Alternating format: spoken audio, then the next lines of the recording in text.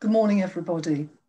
My name is Gail Cartmail. I'm Assistant General Secretary for Unite the Union, and it's my great honour to be this year's TUC President.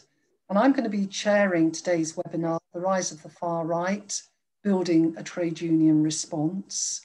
And I just want to say that I'm going to go into some housekeeping, but before I do, um, we have a phenomenal uh, range of participants and I can see the numbers rising on the screen. So um, you are all very, very welcome indeed.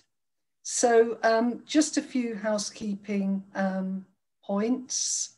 Um, can uh, all participants please post uh, any questions that you want to raise on the Q&A? Um, that would be great. Um, we're really keen um, to tease out those questions, and if we don't get round to them today, they'll form a part of uh, the thinking going forward. Um, so uh, it's also important that you know this is a public event and we're being recorded. So bear that in mind. Um, and the recording may go on YouTube. Just one final point um, um, on that type of thing. Um, do please look at the chat because we plan to post on chat details of forthcoming events, really important stuff I think you'll be interested in, um, training opportunities coming up in the new year. So keep an eye out for those. Um, there will be uh, posted on the chat for everybody to see um, the code of conduct.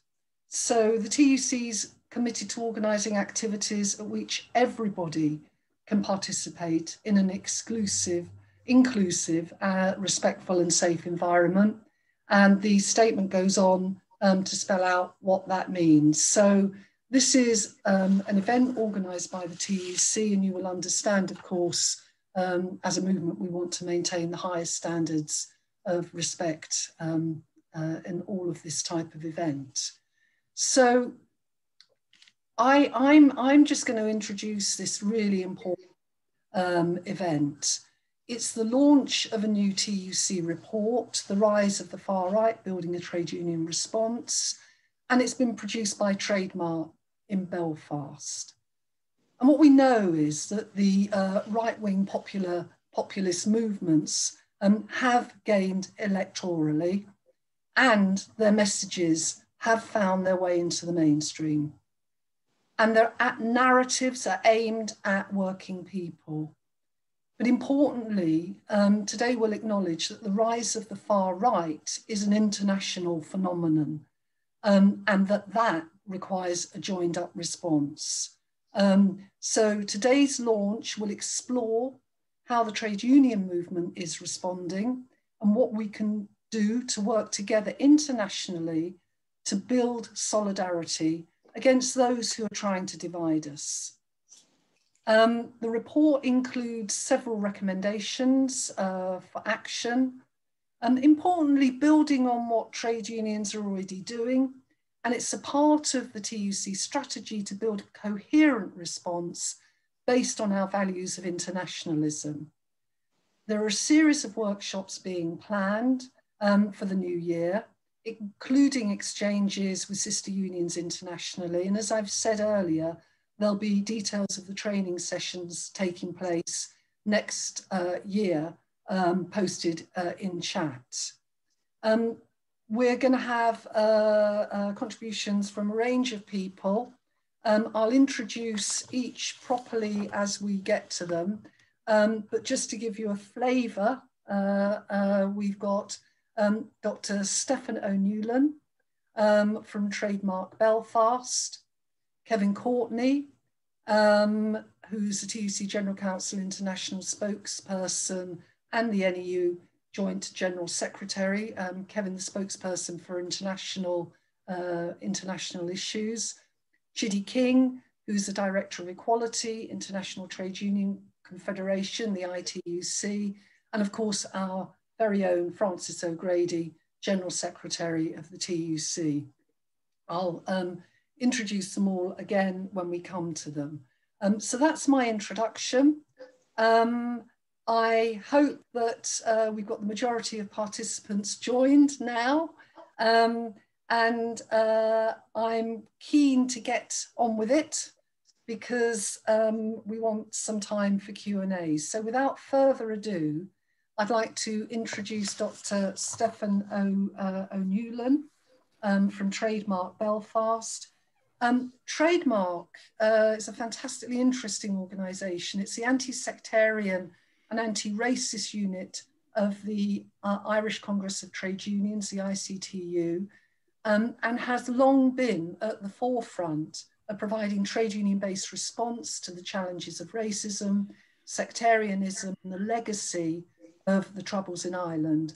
And it was um, the TUC, of course, uh, commissioned Trademark um, to research and write this report. Um, Stefan, you're very welcome indeed. We're looking forward to hearing from you. Thanks very much, Gail. Uh, thanks for the introduction. Comrades, uh, pleasure to be here. Great turnout, uh, even if it is online. We're very pleased to have been involved in uh, in what is a genuinely collaborative piece of work with the Equalities International teams uh, in the TUC. Work that we all took very seriously, of course, because it's, it's, a very serious subject. Um, it's a robust piece of work, we think. It covers a lot of ground, and we, we generally hope it will be a useful resource for all of our members interested in learning about uh, the rise of the right. And we generally hope as well that it assists in us building strategies to combat what is a genuine threat. Um, the resurgence of the far right is probably one of the standout features of contemporary politics, uh, particularly over the last 10 years, and particularly since, of course, the 2008 global financial crisis, uh, which saw an equivalent of something in the region of 50% of global GDP or $40 trillion mobilized to bail out a failed financial system. No equivalent mobilization, of course, took place to bail out workers and communities. And in fact, we were made to pay for the most of it through brutal austerity regime and, of course, a subsequent collapse in living standards. These structural and economic factors are of particular relevance uh, to a trade union understanding of the far right's re-emergence, of course, um, particularly over the last 10 years, as I said. And, and economically speaking, we've kind of entered a new normal uh, that's characterized, of course, by precarious work, global financial instability, degraded public infrastructure and utilities, renewed attacks upon trade unions globally, radical levels of inequality that we've never seen before, and also suffocating levels of debt. And not just personal debt that we carry, but also the, the kind of elephant in the room of economics, global private sector debt. Um, and all of this, of course, has fueled, understandably, widespread anger and a kind of anti establishment and even anti politics uh, sentiment amongst uh, many people which the right in particular has utilized to, to a great effect. And so subsequently, we've seen an increase in the far right uh, in parliaments. In Europe, it's gone from 2% in the 1980s to 14, 15% today. We've seen their, their presence on the streets increase and the birth of a global online movement, which I'm going to talk about briefly. Um, a kind of new social media ecosystem has emerged with new narratives and new ideas that have accompanied that. And whilst there's kind of huge diversity on that right, because it's such a global phenomenon, there's one thing that kind of links all of the groups and all of the movements and all of the parties that we bring under that term. And it's a shared emphasis on ethnic or cultural superiority and nostalgia for this kind of imagined past that's, of course, never actually existed. And of course, the ideology of racial superiority is still very much with us, particularly amongst uh, white supremacists and Nazis. Uh, but increasingly, the far right has come to espouse what we can understand or what's being called, at least, uh, nativism or ethnic nationalism, which kind of strongly opposes immigration or changes to the national character, whatever that may be, uh, which strongly defines outsiders as other and not part of us, even though the us is vaguely defined, but often just means white. Um, and of course, these ideas don't just exist in a vacuum. That's the important bit. They've been boosted significantly, uh, we would argue, by a process of mainstreaming, which has had the effect of legitimizing and normalizing far right parties, their ideas and their values, to the extent that it's become, they have become acceptable as political vehicles, they become acceptable as coalition partners, and the cordon sanitaire around far right parties has been broken through. Uh, and they have a, a, great ability now to influence government policy on questions of immigration and welfare and minority rights and so on. And obviously, the role of the mainstream media in that process uh, is of serious concern most obviously with the growth of, of really powerful corporate media outlets uh, that sympathize, sympathize with or indeed openly promote radical right wing agendas. Uh, the latest wave uh, of far right growth um, can be explained partly by their influence, but not just by them alone, because um, we need to make reference to another phenomenon. If we'd have written this report or something similar 10 years ago, the section on online organizing wouldn't be in it because it's new uh, and it's also proved itself to be very effective uh, in spreading ideas and indeed recruiting people to the far right. The ascendance, if you like, of alternative right-wing media outlets, particularly on social media and the internet and, and, and online forums, has had and it is having a disproportionate effect on wider political debate in mainstream. It kind of acts as a conveyor belt almost, bringing ideas and political projects that are manufactured by radical right-wing kind of digital media into the public domain.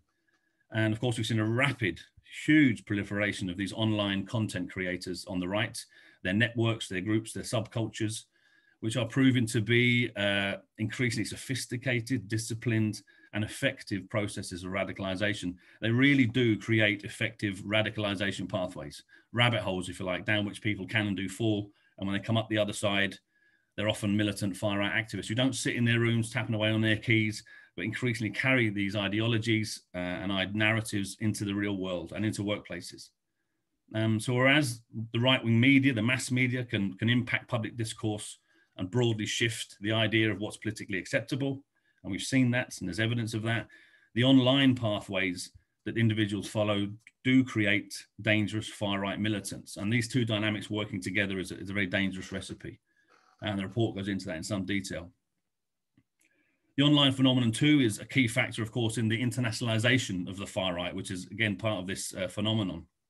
Not really seen it like that since the 1930s in terms of its mobilization, their shared narratives, shared ideology, their targets, their organizational networks, uh, how they communicate, and of course the financing, um, which is a particularly dark area that needs even more light shone on it um, from this point on. I think we make some reference to that in the, in the report.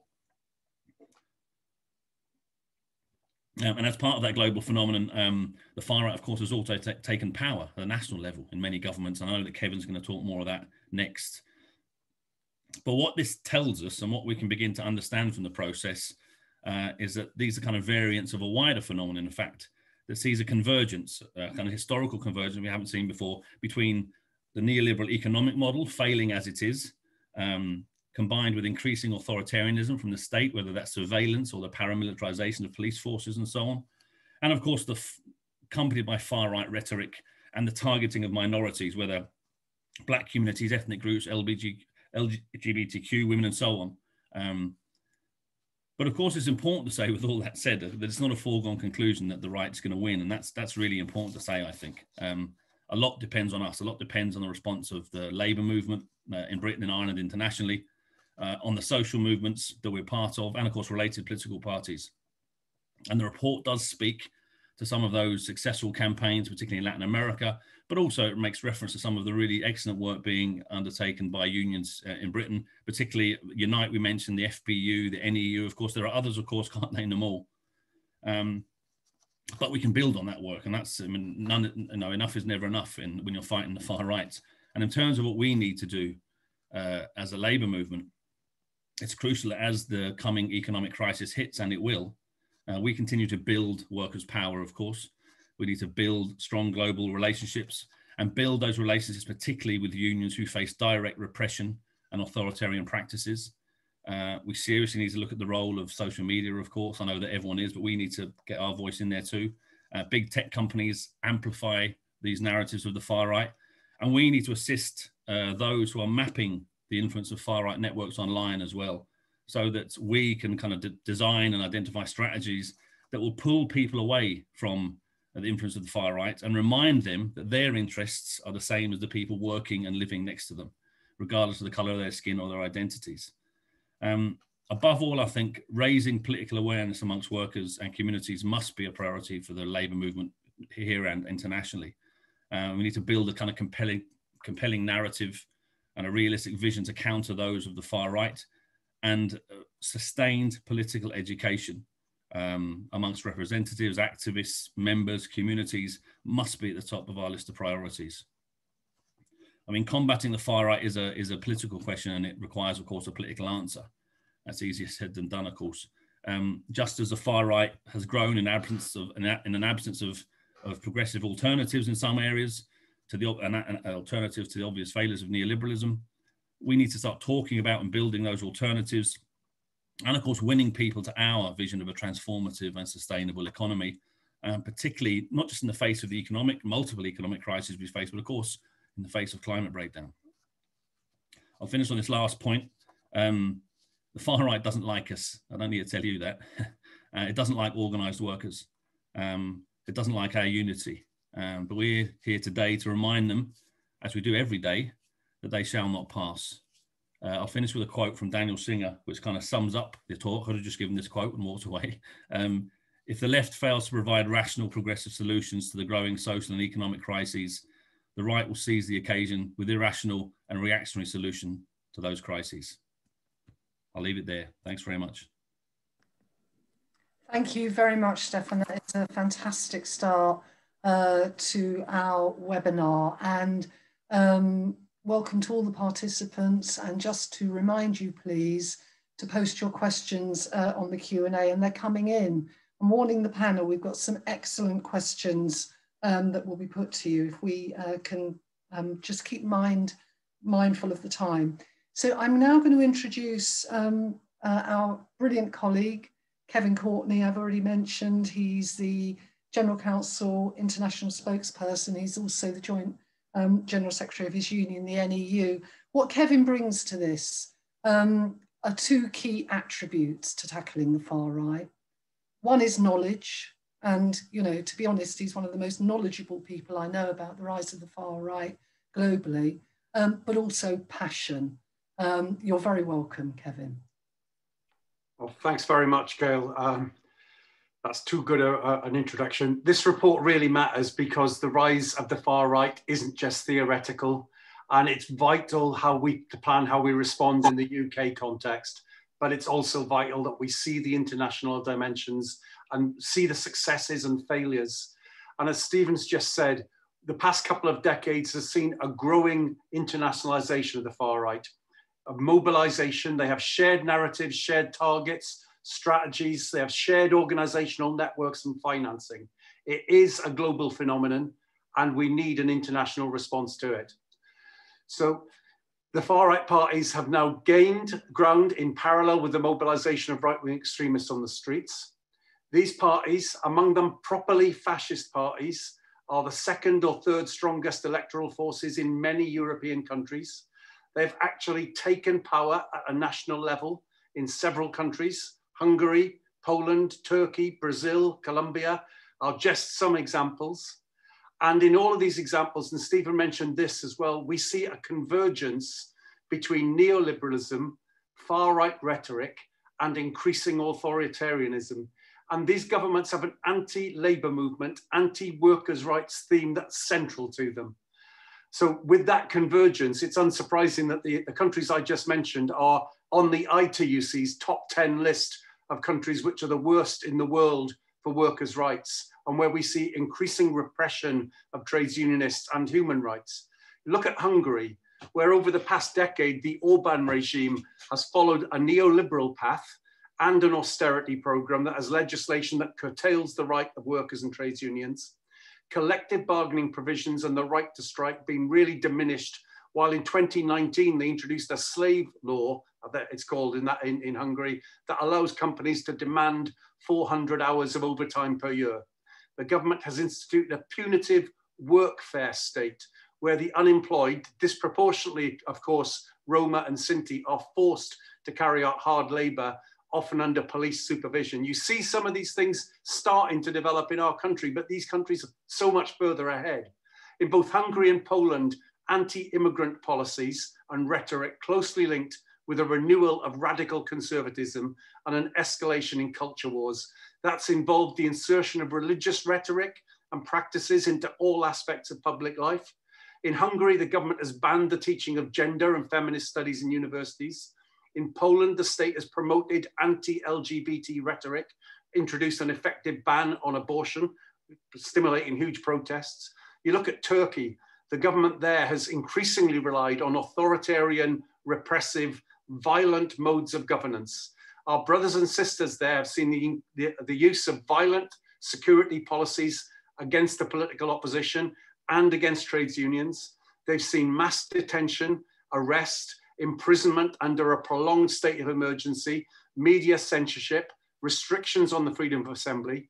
They've seen the government dissolve the, its resolution process for a negotiated settlement to the Kurdish question and instead launch a military offensive against the, K, the PKK uh, in the Turkish, uh, in the Kurdish region. It's brought the AKP, the governing party, into a formal alliance with the far-right nationalist movement party, widely linked to the Grey Wolves, a neo-fascist paramilitary group. And then you see the increased levels of violence against LGBT people, refugees, the Armenian community, etc.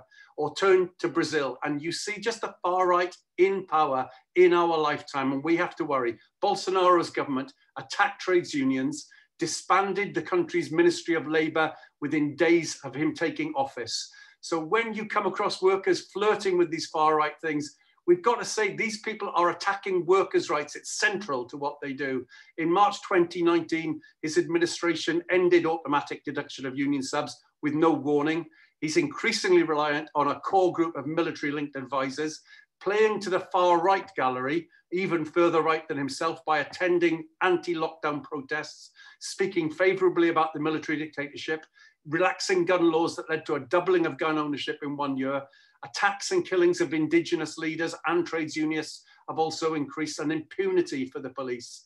Racist police violence increasing in that country.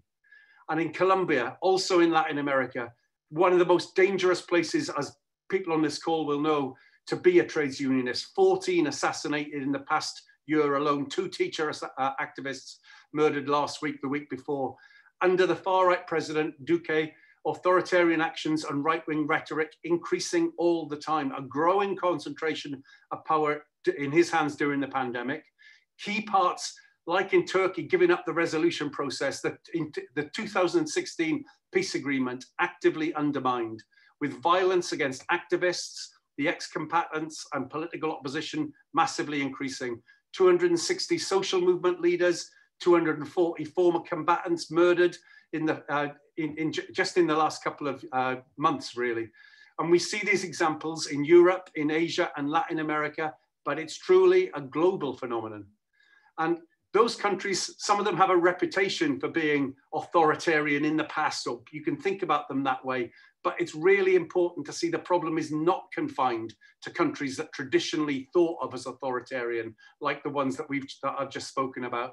Since the onset of the war on terror in 2001, and especially since the 2008 financial crises, these practices have been strengthened by the mainstreaming of far right ideas worldwide by governments that claim to be in the center ground. So in France, the state's brutal crackdown on protesters has come under criticism from the UN even for severe rights restrictions and excessive use of force. Macron has introduced policies by decree on 29 occasions, far-reaching labour and pension reforms that then faced widespread trades union opposition and continuing to drift to right to the right on questions of immigration and uh, the question of the Muslim population, including more intolerant steps just in the last week. And across the EU, we all have to see signs of member states converging on more restrictive migration policies. We have to think the deaths of hundreds of refugees at sea leads to a coarsening of public discourse and it shows the tragic consequences of these policies. And in the US, as well as Europe, the past decade, two decades, marked by a continued expansion of executive powers, mass surveillance, arbitrary detention, torture of terror, terror suspects, and the Black Lives Matter movement brought to fore the systemic racism. Trump's term in office has been characterized by domestic uh, discriminatory policies and extreme rhetoric on Muslims, migrants, and Mexicans, serious implications for, for human rights, and mainstreaming these sorts of far right narratives. And whilst we can all celebrate that Trump has been defeated electorally, he has also activated and transformed the US far right into something more coherent and more dangerous. He calls out directly to street movements like the Proud Boys. We have to worry about the future in the US as well as in Europe. Even in the UK, not even, in the UK, there are features of authoritarian neoliberalism, the extension of state powers, an increase in surveillance and the severity of police response to protest and dissent, alongside the introduction of more exploitative working, exploitative working conditions and anti-union laws. All of this taking place in a climate of Islamophobia and a persistence of long-standing structural racism. The hostile environment measures will have been placed for a full decade by 2022, despite the outrage provoked by Windrush. Boris Johnson and his allies have emulated aspects of Trump's culture war and still are doing so, defending Britain's imperial history, stigmatizing Black Lives Matter protesters, uh, prohibiting resources by anti-capitalist organizations in schools. No country can be compared directly in an exact parallel with another, but each of these countries is characterized by varying degrees of authoritarianism and right-wing rhetoric, and we know there are these links between these parties and movements of the far right in Europe and beyond. They may continue to grow and radicalize with the economic crisis we face, but we have to know that we can fight back and there are lots of messages in this report about a fight back internationally as well. The rise of the far right, we cannot afford to think is a foregone conclusion. And trades unions around the world have been instrumental in organizing to push back and to instead to form, to push for a transformative political vision. And it's crucial that as the crisis hits our members, we build strong global relationships and support unions facing repression elsewhere and learn from them. Internationalism and solidarity needs to be the foundation on which we build our work. And there are real examples in our country, like Steve, uh, Stefan talked about from Unite, the FBU, other unions, but in Germany, political education interventions now form a key part of trades union strategies to combat the far right. Italian unions and others across Europe working on tackling far right narratives in the workplace. The defeat of Donald Trump owed a great deal to the organizing and mobilizing efforts of trades unions and grassroots movement in the US. And there are huge examples of successful resistance in Latin America, which do have lessons for all of us. So look at the victory in Bolivia, a far right led coup overturned by a huge electoral victory by the, by the MAS and uh, demonstrating that a possibility of building a resilient movement from the bottom up, where they concentrated on uh, movement building as opposed to just a narrow election focus, grassroots political education organized by the workers movement and campesino unions, an absolute foundation of the movement that won that election. And in Chile too, unions placed themselves at the heart of the movement to push back the right-wing reaction and chart a new path. The referendum granted by the government to replace Pinochet's constitution came after years of campaigning and mass protest action involving trades unions, uh, students, school students, indigenous groups, the women's movements, real inspiration that you should take from those struggles. The histories and circumstances of these and other Latin American countries are very different to what we face, but they do highlight the necessity of industrial campaigning, extra parliamentary organizing, political education and movement building linked, like Steve, Stefan said, to a hopeful political vision. This is our fundamental uh, commitment to internationalism, to push back worldwide, to build a better narrative, to fight the far right everywhere they, they try and uh, get, their, get their, their roots in. This report's an important part of the fight back, but what we do about the report matters more than the report itself, obviously. Thank you. Thank you so much, uh, Kevin. Um, you know, as I thought, both informing and uh, uh, stimulating, leading us to uh, think about what we can do. The questions are coming in thick and fast. Um, um, I'm going to introduce a video in just a minute, but some um, uh, uh, some participants are asking um, how can they access these presentations? Um, and when will the report be available? And did we know about the uh, International Anti-Racism Day taking place in March? So perhaps some of those points could be addressed in the um, chat. Uh, that would be really helpful. Um, so it's my pleasure now to um, screen a four minute video um, with messages from um, sister union activists in some of the countries Kevin's highlighted. Olá. É fato que vivemos uma conjuntura soturna no Brasil. As políticas públicas de combate à violência contra a mulher tiveram suas verbas zeradas pelo governo Bolsonaro.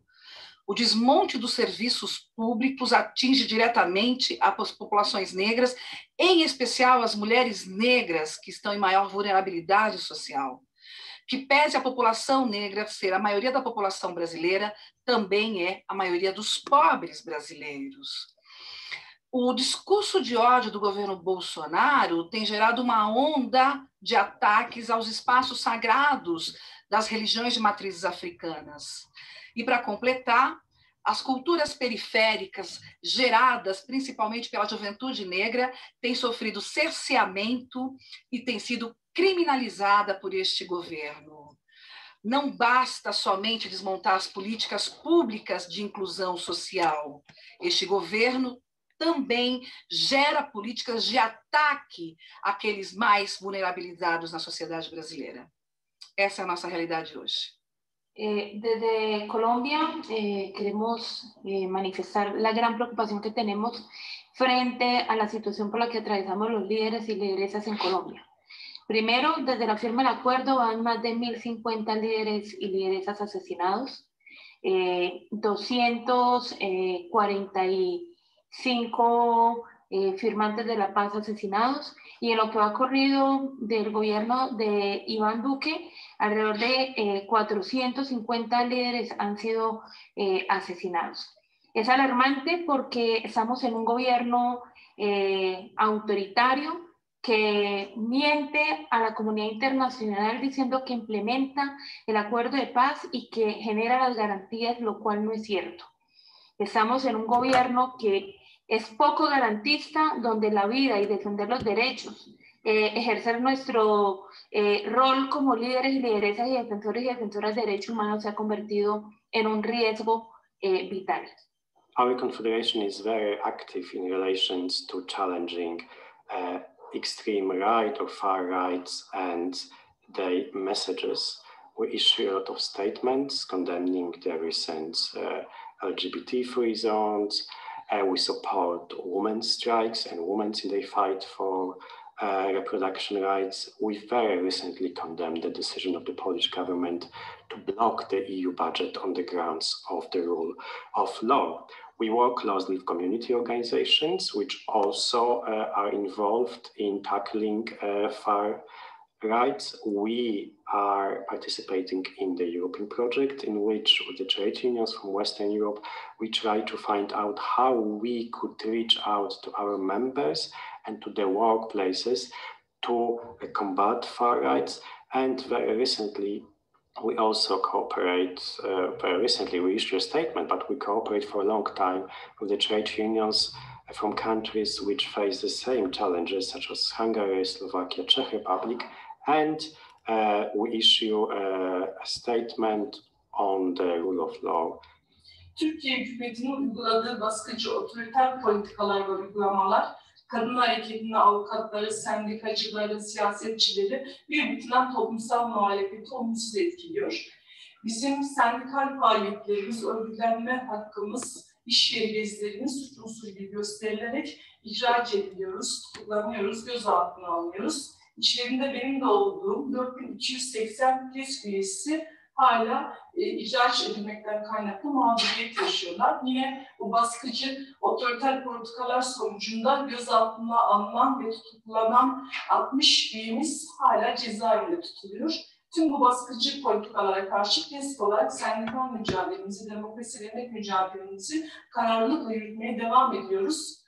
Ve bunu yürütmeye de bundan sonra uluslararası bütün toplumla paylaşmaya ve dayanışmayla birlikte bu baskıcı politikalara karşı kararlılıkla durmaya da devam edeceğiz. Yaşasın dayanışma, yaşasın kes, yaşasın örgüt mücadelesi.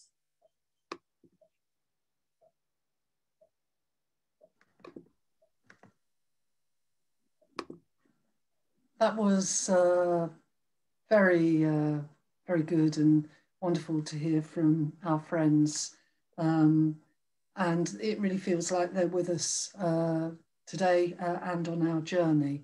Um, so uh, we're going to move on now to our next speaker, um, Chidi King. Chidi's a great friend of ours. Um, she's the International TUC's uh, colleague who is the, you know, director of equality and um, obviously that's a really important role. Uh, Chidi, we always love hearing from you. You are very welcome. Thank you very much, Gail and colleagues. It's a real pleasure to be with you here as um, the TUC introduces this extremely important um, report um, for trade unions, not only in the UK, but um, worldwide on tackling um, the phenomenon that is um, the far right. we are still talking about the rise of the far right. In many ways, the far right has risen, and we are, of course, all looking at um, what we need to do and what we need to do more of to counter um, the dominance in many parts of the world of far right um, ideology, far right thinking, um, far right media, far right political parties, and even the infiltration of the far right into um, what we might term social um, movements. And as trade unions, I think we are ideally poised um, to do just that. And I think the report sets out um, very clearly some of the urgent steps um, we all need to be taking um, to achieve this common goal. I think from the ITUC's perspective, um, of course, we, we would focus on the international aspect of this. And the report, as uh, as did previous speakers, um, clearly underlines that um, the, the far right or the rise of the far right is a global phenomenon and needs to be tackled through international solidarity. It can't only be tackled um, at national level. And indeed, it's interesting to see that one of the main um, mechanisms, just as it, it reaches across borders or its reach has um, extended um, across borders using um, as previous speakers, and the report clearly outlines um, online platforms um, and indeed mainstream media as well. So the far right also seeks to assert the primacy of the nation state over international rule of law. We saw this um, with the Trump administration and his attacks on multilateralism. We're seeing it play out at the heart of Europe um, right now with um, Poland, Hungary, and others um, rejecting the EU budget on the basis of um, the proposed conditionality that all EU member states should observe um, the rule of law. And this is something that's particularly crucial for us as trade unions because indeed it's what's been used um, to attack trade union rights um, across the world. Um, nation states asserting their rights to clamp down on any opposition, using the full weight of state machinery as well to clamp down on any opposing voices, criminalizing social movements, criminalizing trade union actions, even criminalizing peaceful assistance um, to communities in distress. We've seen that in Europe as well with attempts to criminalize um, actions to bring assistance to migrant workers and asylum um, seekers um, who are in distress, um, for example. And we see also how the use of language, and I think this is something that as trade unions, um, we also need to pay particular attention to or to be vigilant about. Um, the use of language really to deny people um, their rights, but also to co-opt people into giving up um, their rights. Um, um, brings to mind a quote from Paulo Freire, um, the oppressed having internalized the image of the oppressor and adopted his guidelines are fearful of freedom. And we see this constantly play out as well in mainstream um, media. We see it in the rejection um, by many sections of populations across the, the world of um, the terminology around protection of human rights, advancement of human rights, which people tend to see now through the othering, if you like, um, of others as something that impinges on their freedoms. So we have this relativizing, if you, if you will, of human rights. Securing the human rights of migrant workers, for example, is portrayed as giving up the human rights of um, the, the national population. Um, we see, if I look at um, what's happening in the UK as well, the term activist lawyers now being used to bring forward attacks against the role of the judiciary um, and the role that it can play in securing the human rights of, of a population. So as the report says, and as other speakers have said, the role of education for us um, is crucial. Um, the role of monitoring for us as trade unions as well is crucial, but monitoring so that we can share, um, again, across borders, examples of the tactics and the tools that um, far-right um, organizations, far-right political parties and far-right governments are using um, to oppress. Um, I think in, in closing, I would say again that the importance of building alliances with other progressive um, movements here is key. At the ITUC, for example, we're working very closely with the International Peace Bureau and particularly the youth wing of the International Peace Bureau um, to ensure that we are building this um, broad um, alliance um, across movements, but educating a younger generation um, and educating them so that they can stand up for their rights, so that they understand what underlies um, the prevailing um, far-right ideologies so that they understand the political forces behind um, the far-right ideologies and the necessity of denying them um, their freedoms and their rights that these ideologies, political parties, movements um, rely on. Um, I think uh, probably coming up giving looking at um, the opportunity to give time to answer questions from, from the floor. I think I'm probably coming up to the end of my speaking time, but I, in closing again, I would just thank the IT, the TUC rather, for the phenomenal report. But as others have said, now that we have the report, the challenge for us is to use it, to use it to fight back against the rise of the far right. Thank you. Thank you very much indeed, Chidi. And I can think of no better link to our next speaker uh, than using the report to fight back than to our TUC General Secretary, Frances O'Grady, uh, because she is, if nothing else, um, and she's many things, a woman of action. So uh, uh over to you, Frances. Thanks very much, Gail, and thank you for your leadership uh, on what I think is one of the most important strategic challenges that we face. Uh, thanks to all our speakers and thanks uh, to Mariella, Tanya, Sue, Wilf, um, the whole TUC team who are working so hard on this. And of course, thanks to Stevie uh, and Trademark for a brilliant report. Um, earlier, Kevin spoke about uh, the presidential elections in um, the United States. And Gail and I were both on a, a seminar with the our sister organisation, the AFL-CIO. And I think we both agree that one of the most moving parts was when we heard how when the far right were intimidating people at polling stations, how the uh, AFL-CIO put out a call to unions and trade unionists went down to the polling stations and defended working people exercising their right to vote. And I found that really moving because ultimately, to me, this is about democracy and about the trade union historic fight for democracy and those who oppose us. And democracy for, for us, of course, is not just political, it's economic too. And defending working people's right to a voice, I think, is at the heart of our opposition uh, to the far right. Uh, we do have that incredibly proud record of taking on the far right. Uh, you know, you look back through the 20th century from Cable Street to the anti-apartheid struggle to uh, marching on the streets. But I think we do need to recognize that we're dealing with a different beast. Many of the features like anti-Semitism uh, and racism are familiar, uh, but there are more uh, subtleties, I think, to this new 21st century beast that we need to acknowledge, whether that's uh, not just um, uh, racial supremacism or national supremacism, but gender supremacism too.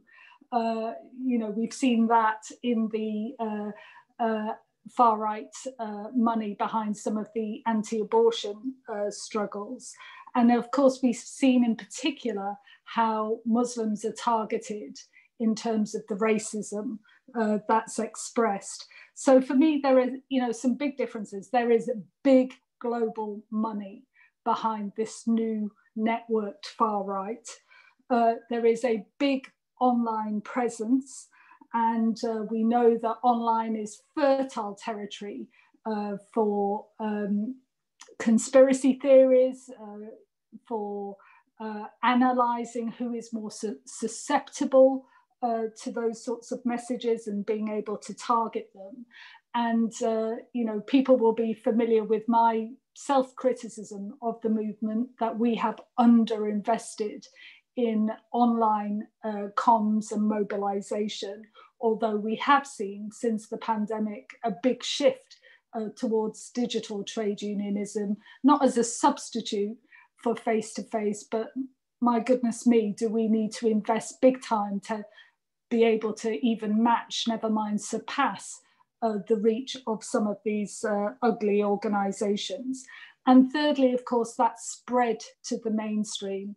And I probably need to say no more than look at the spectacle of the photo opportunities uh, we see emanating from the Home Office in respect of asylum seekers, uh, the boat people, what the emotions that that is meant to trigger.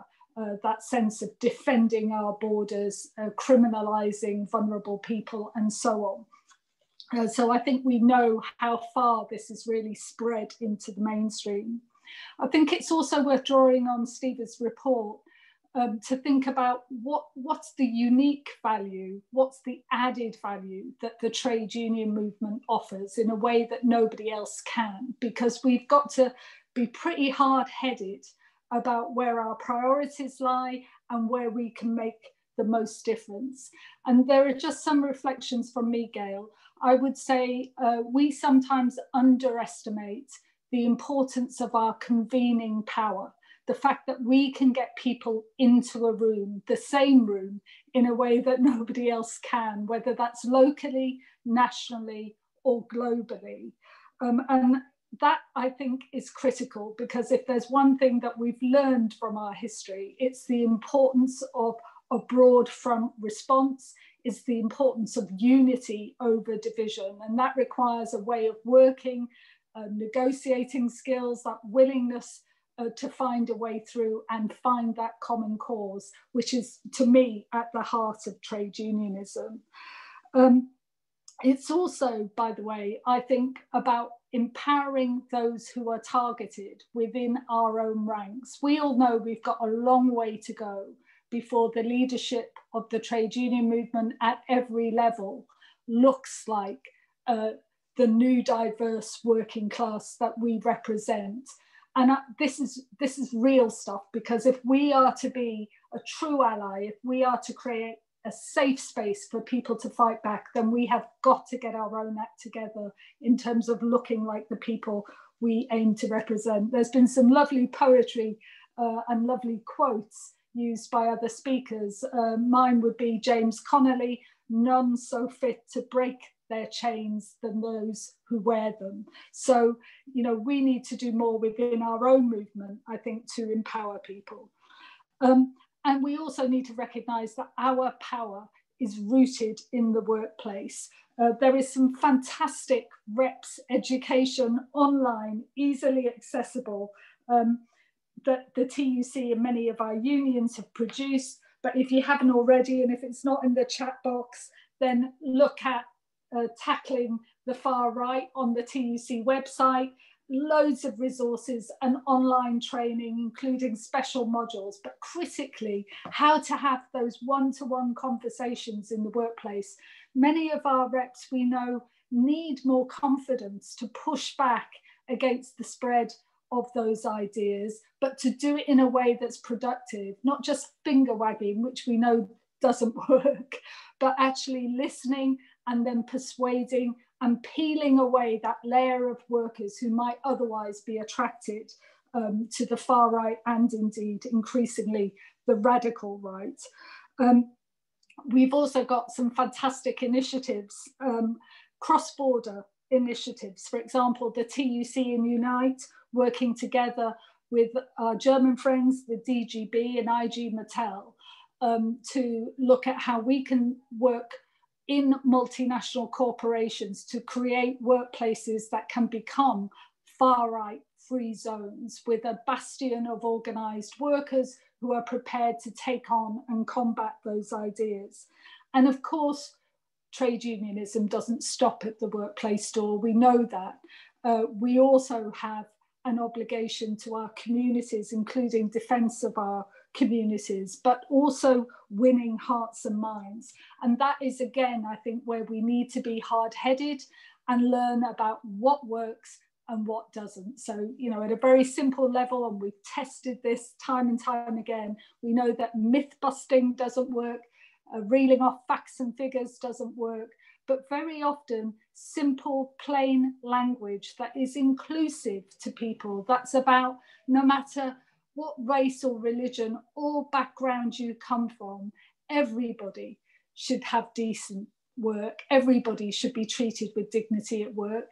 The, these are the sorts of messages we know can attract people and bring people back. Um, of course, we have to tackle the root causes, and we, we know that, don't we? We know uh, what creates fertile ground for uh, fascism and racism and radical right ideas to grow. Um, inequality, austerity, we've seen it all. Um, we know that perhaps the biggest threat we face, and it's one of the reasons why we fought so hard for wage subsidy schemes, is mass unemployment, because uh, that is the way that we saw this in the 1980s, how people are divided, um, how they become scared, how they become uh, obsessed with looking after their own families rather than looking after neighbours and workmates too. So we have to uh, tackle the root causes. But I also want us to take on building pride in our own class and culture and identity, that we are the new working class. We are black and white. We are all faiths and none. We are women as well as men. And we need to uh, be positive, optimistic, and ambitious and can do in the way that we build that sense of identity and pride in who we are um, with working people as a whole. So I would just say, Gail, I think this is a great opportunity to share ideas, to strategize, but critically to come up with practical uh, plans with clear objectives, clear priorities that work to our strengths, tackle our weaknesses. Um, but that ultimately, for me, this, this is about working people joining together, pushing back, using every tool in the box, every 21st century tool in the box to show that we, our values of decency and dignity, equality and justice for working people will win through. Thank you, Gail. Thank you very much indeed, Frances. And in many respects, you've actually touched on a lot of the points that have been brought through uh, in the questions. Um, so I'm expecting that we're going to have our whole panel up soon.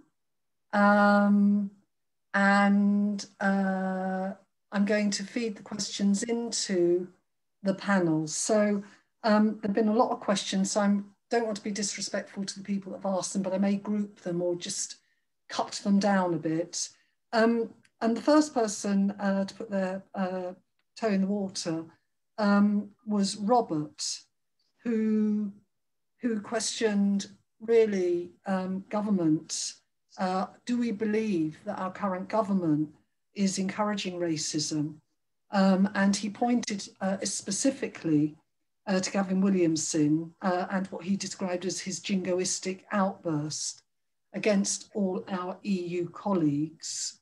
And Stephen, um, in another uh, question, um, says that he recognises the old beast of nationalism raising its ugly head.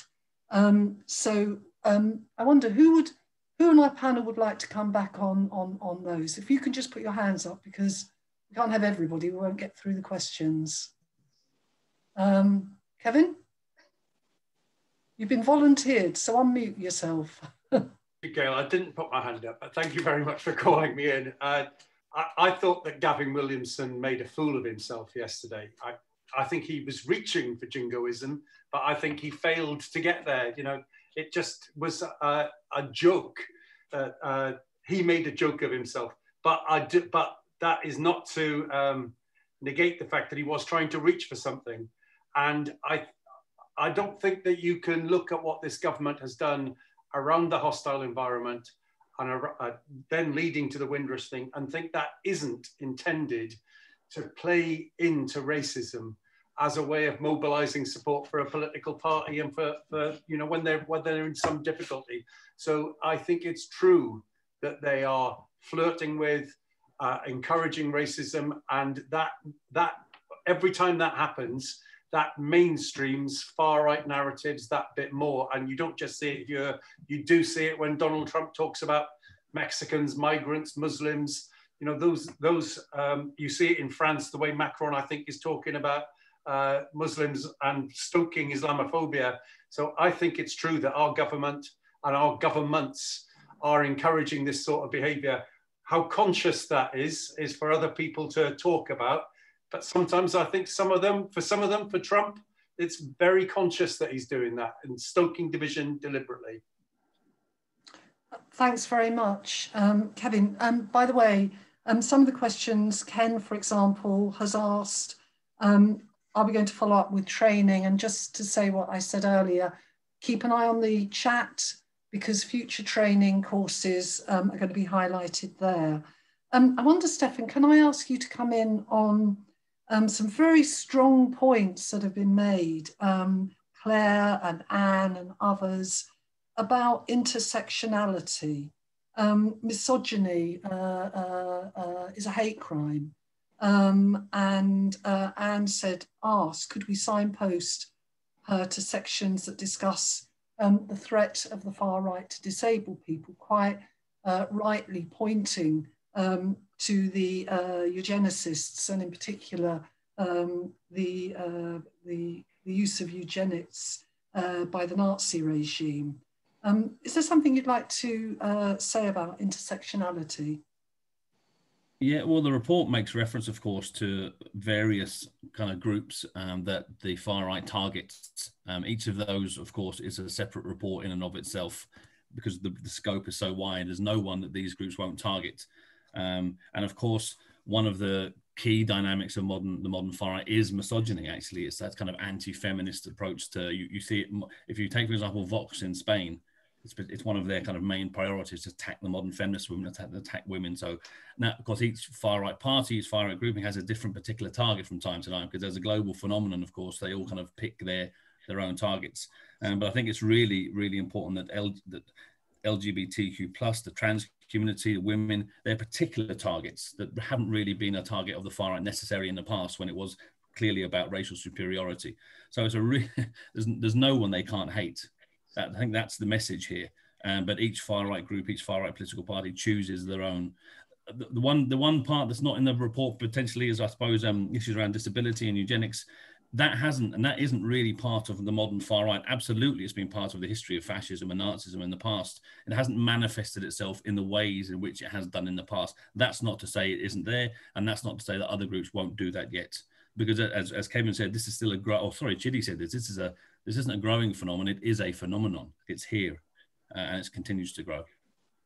Thanks, Stefan. Um, Lester, uh, this is to you, Frances. Um, Lester uh, talks about um, deracializing whiteness um, and turns to the terminology multicultural working class.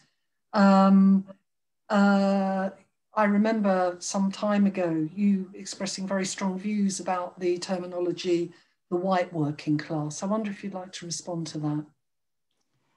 Well, I have to say, when this first kicked off a few years back, and you had, um, you know, people writing books about the white working class, I remember feeling genuinely perplexed. Why, why was there no discussion of the black working class? Or uh, why wasn't there a study about the white upper class? You know, it, it just, it's sort of, um, I suppose I smelt a rat, to tell you the truth. It sort of felt like, here we go again.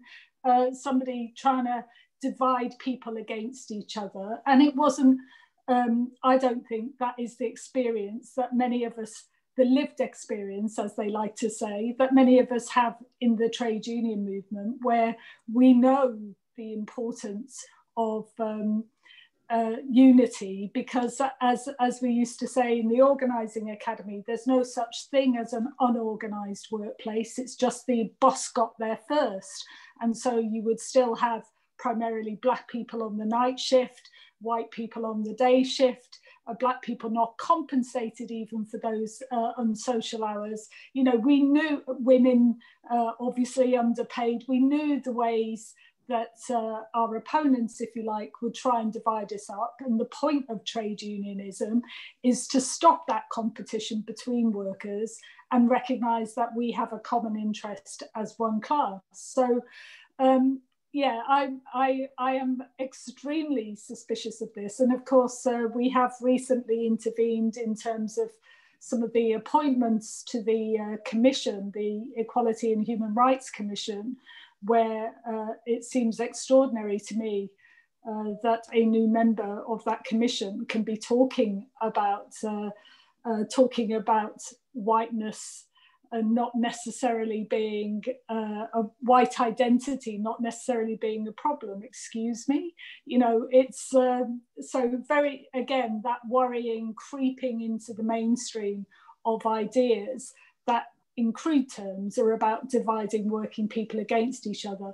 But having said that, I want us to challenge ourselves because to pretend that we've got our own house in order would be wrong. Uh, we know that there is plenty of work that we have to do within the trade union movement amongst our own members in terms of education and in terms of our values. And also, we've got to get our own house in order. And that's why I'm delighted that Leicester uh, is uh, dedicated to supporting our new task group on anti-racism, uh, which is designed to both get our own house in order and also to make a difference in workplaces in particular in tackling racism uh, and all forms of uh, discrimination there. Thanks very much, Frances. And I was hoping it was the same Leicester. So um, uh, I'm assuming it is. Maybe I should. I, I hope so. Um, so Chidi, um, Chidi, you talked about very eloquently about the use of language, um, and um, another Robert, Robert M, um, put a very thoughtful uh, question forward. I can't read it all out; it's a bit long, but he's he's saying, well, look where's the line between legitimizing far right ideology but allowing um, free exchange of ideas? And he kind of, you know, he sort of posed in the UK the so called Tommy Robinson Football Lads Alliance thing um, with Nigel Farage, who, of course, um, uh, in the UK had a broadcasting slot. Um, so, so Chidi, you know, any got any ideas about you know what's in and out and how how how we can help people with that? Thank you, Gail. Thanks for the very tough question as well, I have to say. Um, my reflection on this would be look, freedom of expression is something that we all need to hold on to as being a key value of our societies. It's crucial to, it's part of what's on the attack when it comes to trade union rights as well. Our right to freedom of expression, our right to freedom of assembly. So that's a fundamental value that we all need to protect. The other thing that I would say in relation to that, though, is that um, we have to look at how that is misused in order to allow voice to organizations, to um, groupings that are designed to fundamentally attack those values that we're all clinging on to. We have to look at the way um, the mainstream media, for instance, gives particular space to some of these groupings. If we look at the lead up, I mean, I don't have figures to hand, but if we look at the lead up to Brexit, the amount of space and time that was given to Nigel Farage for instance, and the Brexit Party compared to the amount of space and time that was given to others that wanted to make a case for the European approach, for a case for staying within Europe, was hugely disproportionate. And I think that that's something um, that we need to be alive to and something that needs to be tackled. How we tackle it, that's the um, $60 million question, if you like. It's not by attacking um, the media, because again, that's you know a fundamental um, value that we need to cling on to. It's part of um, the freedoms or the vehicle for the freedoms that we want to secure. But challenging the media, certainly. Um, we don't have to go out on all, all, fronts attack on it, but we have to challenge um, the media where we see this bias appearing. We also have to, and I think others have said, challenge um, these notions when they creep up um, within our own movement, whether it's within our workplaces or whether it's within the trade union movement um, itself. I think back to, and I think the report actually speaks to this when it talks about, you know, trade unions perhaps having in place um, rules um, that ensure that um, we don't propagate um, these ideologies um, within our own organizations. If I think back maybe, what was it, 12, 13 years ago to the ASLEF case, for instance, um, which had to go all the way up to the European Court of Human Rights in order to enable ASLEF to expel a member of what was then um, the mm-hmm. BNP. I mean, I think this is, this is crucial. Um, and us being um, on the well, us being vigilant, let's put it that way, um, to this within our own organizations, I think is a, is a crucial part of that. Yes, let's have discussions, but we have to be careful that those discussions don't indeed um, give succor um, to those who want to um, use notions of freedom of expression or fundamental values such as freedom of expression um, to propagate um, hatred and hate speech. Thanks. Can I just add, can I just add, Gail? Because, yes. You know, I, I think a lot of the questions and including those about the government, we do we do have to look at this through the lens of those former red wall seats and who the government thinks it's appealing to and what will appeal to them. And the truth is, they have attacked many of our institutions, including trade unions, over many years. And that, you know, for, for people in my family, and I'm sure other people's too, actually becoming a rep in the trade union movement was always a source of pride. It was a way of being able to exercise leadership, to be respected, to speak up for fellow workers. And a lot of people, particularly in the private sector, have lost that. And I think what the far right are trying to do, and some of their allies in the mainstream, is appeal to an emotional sense of being scared, humiliated, feeling robbed of respect, and as well as all the material stuff that we know about.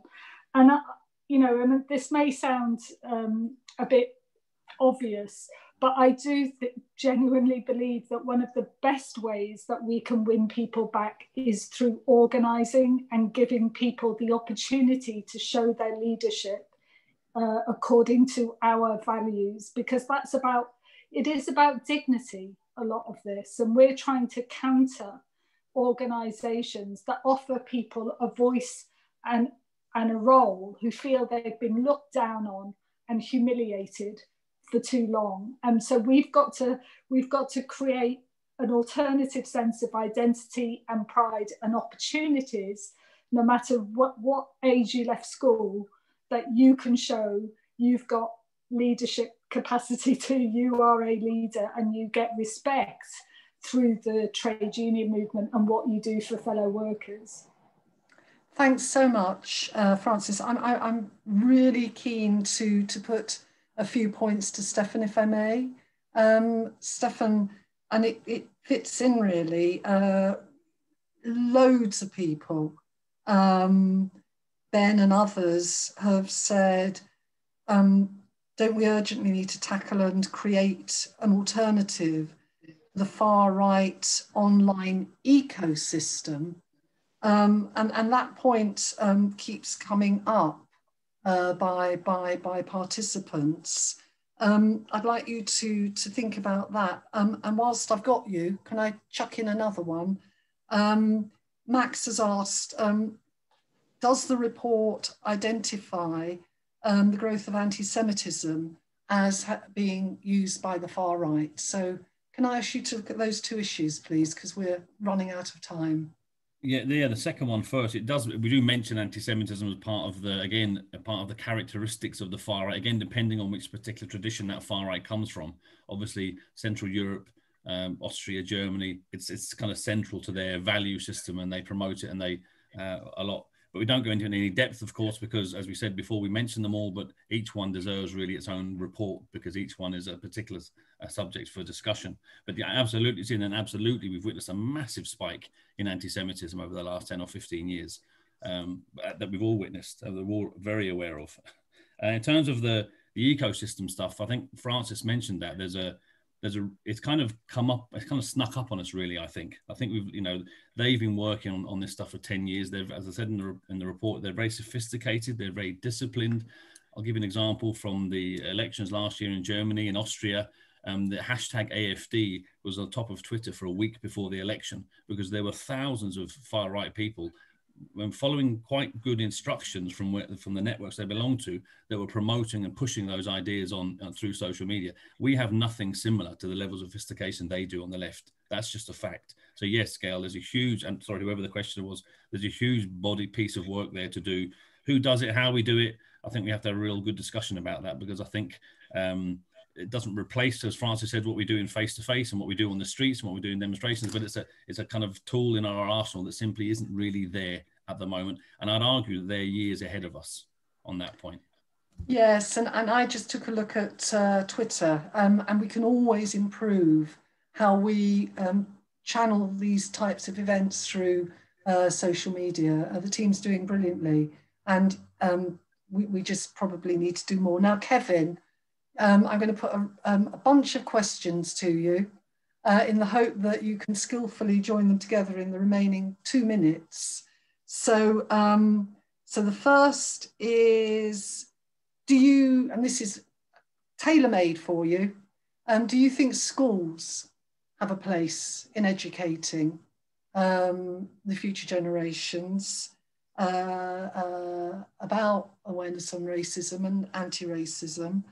Um, and has it occurred to any of us to link up with the Students' Union in this important work of combating the far right? Um, and will the TUC help us do better? And can we please include the trades councils? That's from Peter. It was Mark that came in on schools. And then finally, um, Spiros, uh, and I'm going to guess that's uh, Spiros with a Greek heritage, um, draws attention to the Golden Dawn, um, but the system of capitalism um, being a breeding ground really for far right uh, ideology. And Maria, also from Chile, um, talked about um, how they mobilized, um, vocalizing the injustice of their economic system. So, so uh, over to you, Kevin, in two minutes, one minute.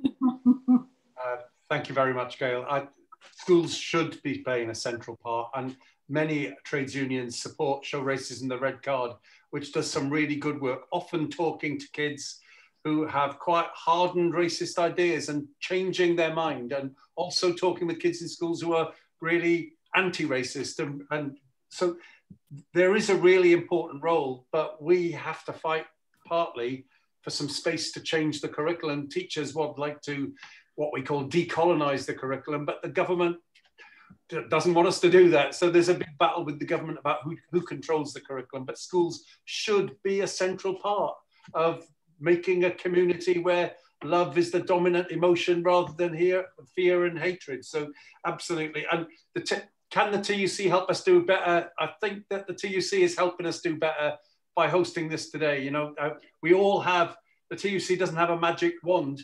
Uh, the TUC is convening. It's, it's Frances's convening power convening all of us to try and do our bit and take the thing forward. And I, I, if I'll say one thing about Golden Dawn, there is a real message of hope in Golden Dawn being defeated. Their, their central leaders being jailed. And don't for a second just believe that was the working through of just a legal process in Greece. That was the result of our comrades in Greece, trades unionists in Greece, mobilizing against Golden Dawn. It was the result of activist lawyers taking cases against Golden Dawn. It's our movement that's defeated Golden Dawn in Greece. And so there's a message of hope in that, I think, for all of us. Thank you so much, Kevin. And actually, uh, a message of hope. Um, I think that's a really fitting ending to this. I just want the panelists to know um, that uh, there's lots of very uh, warm and complimentary comments uh, about your contributions uh, and this webinar. Um, it would not have been possible to have put Stefan's report together had we not had solidarity uh, of our sister unions globally. And I've been asked to make a special thanks, uh, thank you to our global sisters and brothers. Um, and, you know, it's, it's hard to summarize this, except I think um, there's a real appetite from the questions and from what the panelists have said um, to get on with the job, uh, to move into the new year feeling confident um, that we've got a plan, that we're backing that plan up with education, uh, trade union education, look in the chat, uh, reminded not just of education on um, combating the far right in new education uh, uh, uh opportunities, but the existing combating anti-Semitism, which is a toolkit well worth using. So um, it's just looking forward to reinvigorating this work and continuing it in the new year. Thanking all of the panelists, all of the uh, fantastic TUC staff that makes this possible, and the uh, hundreds of participants. Um, thank you, everybody. And goodbye. well done.